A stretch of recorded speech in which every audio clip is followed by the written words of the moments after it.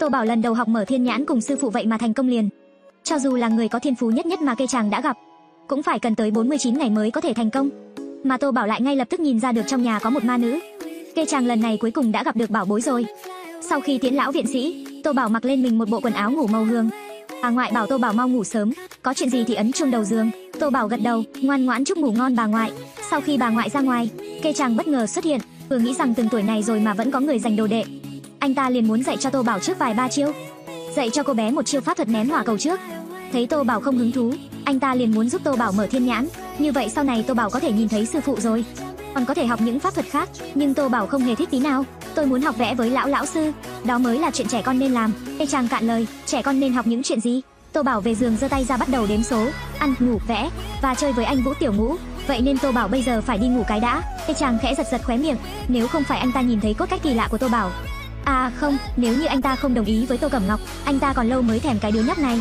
Thế nên cây chàng tiến lên nhắc nhở, nhóc con quên mất lời mẹ nói với nhóc lúc chơi cầu trượt cầu vòng rồi sao? Có phải là mẹ bảo nhóc đi theo vi sư chăm chỉ học hành không? Như vậy là có thể thường xuyên gặp mẹ rồi.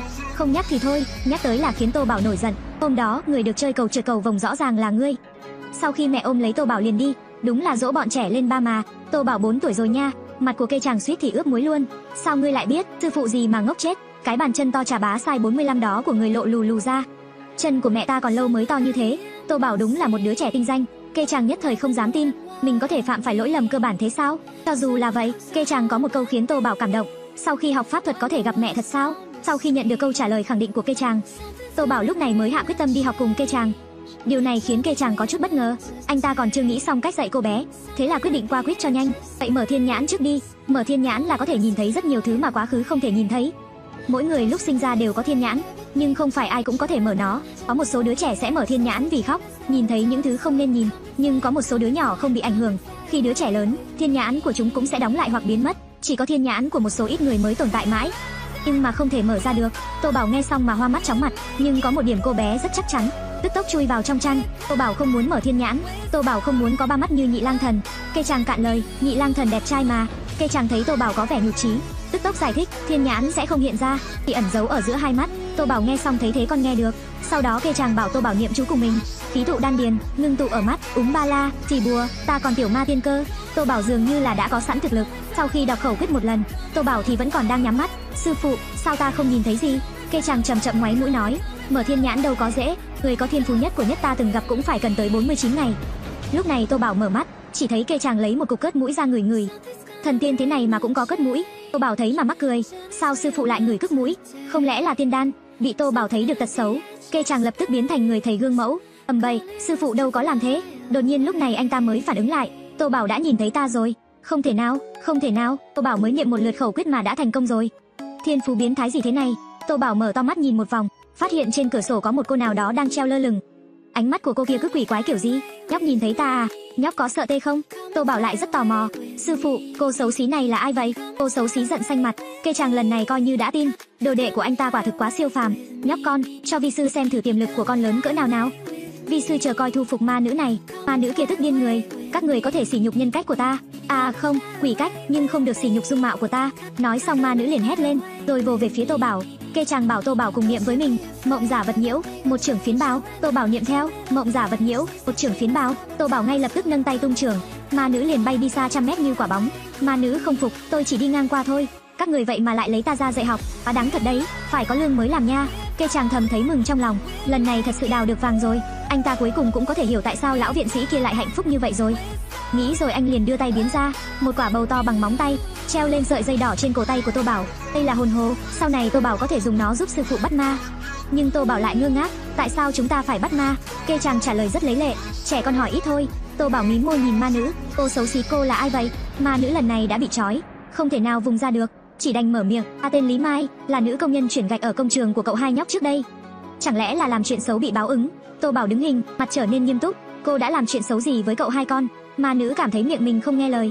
6 năm trước vợ của cậu hai nhóc cho ta 5 vạn, để ta cho muối vào trong trà của cậu hai con. Kết quả là vừa làm xong tầng lầu thì một tảng trần nhà rơi xuống, đập chết ta. Tô Bảo không hiểu tại sao lại bỏ muối vào trà của cậu hai. Cậu hai thiếu muối sao?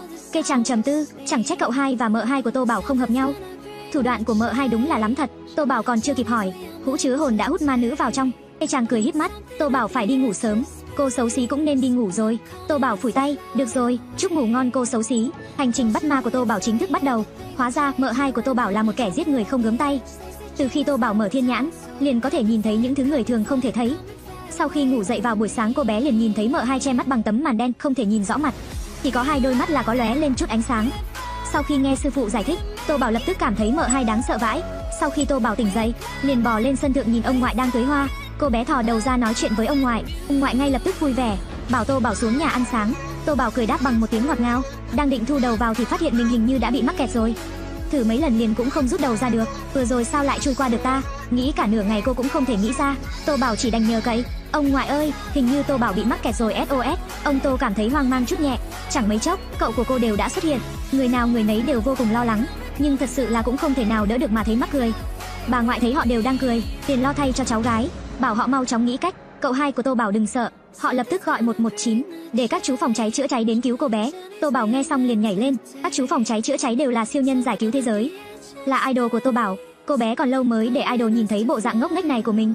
Thế là lập tức phản đối, cậu hai đừng, Tô Bảo sẽ tự ra được thôi. Nói rồi Tô Bảo thử trái thử phải, thử lên thử xuống, nhưng chỉ nghe một tiếng uịch, đầu bị đụng đau đến nhức nhói. Các cậu thấy Tô Bảo không thể tự ra được, Tô Bảo cũng không cho gọi 119. Thế là họ đồng loạt tám dóc. Cậu Tư đề nghị, đầu của trẻ con to hơn người, chỉ cần để Tô Bảo chui người qua bên này lan can, sau đó để đệm ở bên dưới là được. Nhưng cậu cả lại cảm thấy phương án này nghe thì có vẻ ok, nhưng cũng có rủi ro. Thế là những người cậu khác đều trừng mắt với cậu Tư. Cậu Tư một mặt vô tội, tôi nói sai gì sao? Bà ngoại nói ra sự lo lắng của mình, nhỡ đâu con bé rơi xuống bị gãy cổ thì sao? Hoặc là tay không may chọc vào mắt thì không được đâu. Bà đã mất con gái rồi, không thể để Tô Bảo gặp bất kỳ nguy hiểm nào. Nghĩ cả nửa ngày vẫn là cách của cậu ba đáng tin. Để cậu năm mang cái kẹp thủy lực đến, không được thì bẻ gãy lan can luôn. Vợ hai thì lại đứng nhìn từ xa, trong lòng cảm thấy bất bình, có gì to tát đâu, chỉ là bị mắc kẹt thôi mà. Nhà họ Tô sao ai cũng phải xoắn cả lên như thế. Còn Tô Bảo vì ban nãy dùng lực quá mạnh, nên đầu đã đau lắm rồi, nước mắt cứ không tự chủ được mà rơi lã chã. Tê chàng đứng cạnh cứ nhàn nhã nhắc nhở, Tô Bảo con cũng ngốc quá thể, không biết bẻ gãy lan can hay sao? Tô Bảo hạn hán lời, sư phụ đừng có lừa Tô Bảo nữa, làm sao Tô Bảo có thể bẻ gãy lan can được? Con nghĩ sợi dây đỏ sư phụ tặng con để làm gì? Con không thử sao biết là không gãy được, thử thì thử, lúc này không có ai nhìn, hai bàn tay nhỏ của Tô Bảo nắm lấy lan can, sau đó dùng hết sức bình sinh kéo ra, lan can sắt ngay lập tức bị Tô Bảo bẻ cong, đầu cô bé cứ thế mà chui ra. Khi các cậu lên đến nơi, Tô Bảo đã thành công thoát khỏi lan can, mặt cô có lộ rõ kinh ngạc, ra được thật nè, các cậu cũng nhìn thấy cô bé ra ngoài, người nào người nấy đều không thể tin được, Tô Bảo sao có thể ra được vậy, cho tới khi các cậu nhìn thấy lan can bị bẻ cong, họ mới đứng chặn hết ở chỗ lan can, vừa hay Vi Huyền xuống lầu, thấy mấy anh em họ Tô, phòng cô ta như phòng giặc, cũng đâu phải cô ta làm Tô Bảo bị kẹt ở đó đâu. Cho tới khi Vi Huyền rời đi, cậu ba mới chỉ vào lan can hỏi Tô Bảo, con bẻ cong đó sao? Phải, sao ạ? Cậu hai lập tức dặn Tô Bảo, chuyện này sau này con không được nói với ai, cũng không được thể hiện trước mặt người khác. Tô Bảo lại không hiểu, tại sao các cậu lại căng thẳng như vậy? Chẳng lẽ Tô Bảo khỏe mạnh không tốt hay sao? Có thể giúp mọi người làm nhiều chuyện lớn mà. Nhưng cô vẫn ngoan ngoãn gật đầu. Lúc này cậu năm cầm theo một cái cờ lê to hớt hải chạy tới. Tô Bảo cậu năm tới cứu con đây. Cậu năm, Tô Bảo thoát được rồi. Cậu cả bảo em năm cắt bỏ lan can đi, đừng để người khác nhìn ra. Cậu năm nghe được, lại nhìn vào cột lan can bị bẻ cong, liền hiểu luôn là chuyện gì. Tô Bảo nhà ta giỏi quá chừng, thế là định mang Tô Bảo đến công trường chơi. Tô Bảo nghe xong mà hai mắt sáng lên như đèn pha ô tô. Cô chưa từng được đến đó, nhưng cậu Tư lại lo lắng cho sự an toàn của Tô Bảo. Hơn nữa công trường nguy hiểm, người không phận sự miễn vào. Tô Bảo lập tức phản bác, Tô Bảo không rảnh nha. Tô Bảo rất ngọt ngào, mọi người không kìm được liền bật cười. Tô Bảo hiểu nhiều thứ quá nhỉ, nhưng sau cùng cô bé vẫn là trẻ con. Sau khi ăn xong bữa sáng, Tô Bảo đổi một bộ váy màu xanh, trên váy được điểm những bông hoa nhỏ màu hồng, phía trước ngực ôm một con thỏ, phía sau lưng cõng một con mèo, bên cạnh còn có con vẹt tiểu ngũ, một người một chim vô cùng đáng yêu. Cô đang định xuống lầu thì nhìn thấy mợ hai lên lầu.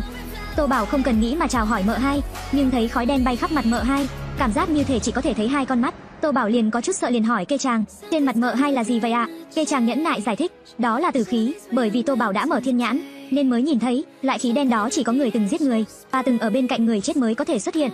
Tô Bảo ngay lập tức bị dọa sợ hú hồn, mợ hai đáng sợ quá. Lúc này tiếng thúc giục của cậu năm vang lên, Tô Bảo tức tốc chạy ra ngoài. 36 cái chuồn là thượng sách. Các bạn nhớ like, share và đăng ký kênh nhé. Hãy cho mình biết cảm nhận của bạn và những câu chuyện bạn muốn nghe phía dưới bình luận nha.